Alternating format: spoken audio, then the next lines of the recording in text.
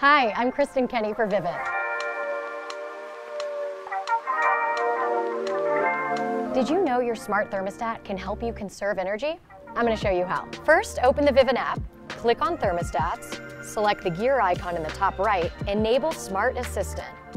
Then here you'll see your states that you can customize. I'm going to customize away and turn this heat all the way down to a comfortable 65 while I'm gone and cool 74. Reminder, if you're away for more than a day, your smart thermostat will enter into vacation mode. So you'll save energy and save even more on your power bill. And there you have it, smart energy made easy. Like, comment below, subscribe, and tap the bell notification so that you know when we upload new videos.